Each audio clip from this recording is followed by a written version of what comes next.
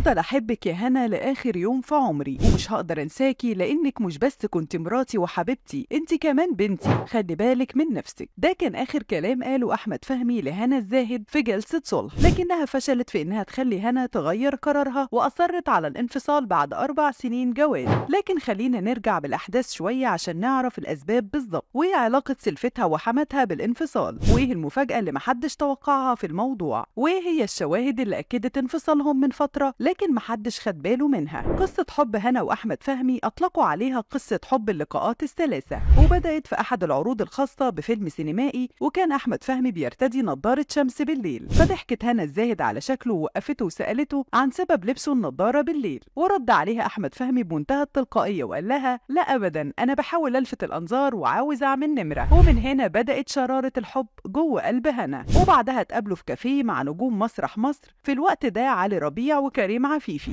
وفي اليوم ده عملت هنا حسابها على إنستجرام وضافت أحمد فهمي. وبعدها عزمها أحمد فهمي على الغدا في أحد المطاعم وبعدها خدت رأيه في عربية جديدة علشان تشتريها واعترف لها أحمد فهمي بحبه ليها وبدأت قصة حبهم. وبعدها احتفلوا بزفافهم سنة 2018 وبعد كام شهر من زواجهم بدأت الأزمات والمشاكل بين هنا الزاهد وأحمد اللي كان دايما بيصالحها وكان بيعتبرها زي بنته لأنه أكبر منها ب 14 سنة وخبرته كبيرة. بس التراكمات زادت بينهم ودايما كان فهمي بيصالحها بس كان في ثلاث أسباب عجلت بالانفصال. أول سبب وهو سلفتها دانيا البناوي زوجة كريم فهمي شقيق زوجها أحمد. وكانوا دايما نائر ونقير وما كانوش بيحبوا بعض. والموضوع اتطور بينهم والأزمة اتنقلت لأحمد وكريم لأن كل واحد منهم كان بيدافع عن زوجته وبيحاول ينصفها على الطرف التاني لحد لما الأمور وصلت بينهم لطريق مسدود وألغوا متابعة بعض على إنستجرام. السبب التاني وهو حماتها ليلى العطار اللي كان نفسها تفرح بحفيد ليها من ابنها الكبير أحمد. والموضوع بدأ بعد كام شهر من زواج هنا لما فتحتها في الموضوع واتفاجئت برد هنا عليها طنط من فضلك دي حياتي الخاصة أنا وأحمد. وإحنا على العموم مأجلين شوية لسه بدري. وطبعا رد هنا ما عجبش حماتها واتكلمت مع ابنها أحمد اللي حاول يهديها وفهمها إنه مأجل الموضوع كام سنة. والغريب بقى إن في الفترة دي اتفاجئنا بالأخبار على ال social media اللي بتأكد حمل هنا الزاهد بس طبعا هي نفت أكتر من مرة وأكدت إنها مجرد إشاعات.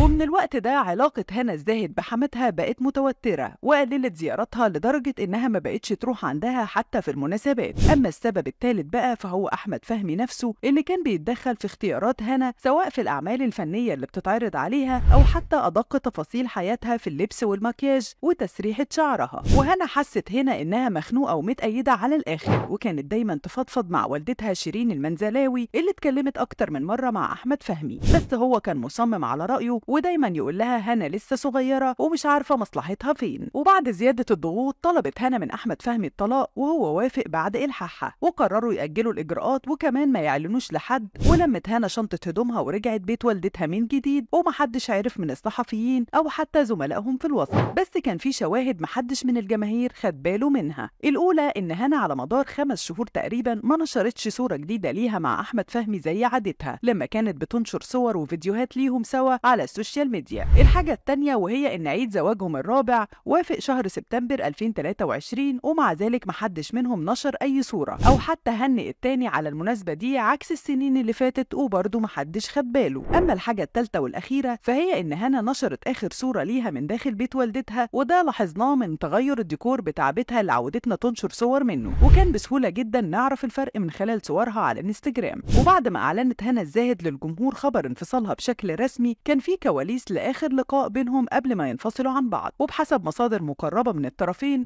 إن أحمد فهمي كان متمسك بهنا. بس هي شافت إن حياتهم مع بعض بقت مستحيلة. وهو رد عليها وقال لها هفضل أحبك لآخر يوم في عمري. ومش هقدر أنساكي لأنك مش بس كنت مراتي وحبيبتي أنت كمان بنتي. خلي بالك من نفسك. في النهاية علاقة هنا الزاهد وأحمد فهمي كانت دايما حديث المتابعين. ودايما كانوا بيتعرضوا للإشاعات بس ده كان السطر الأخير. بنتمنى للنجمين كل التوفيق في حياتهم.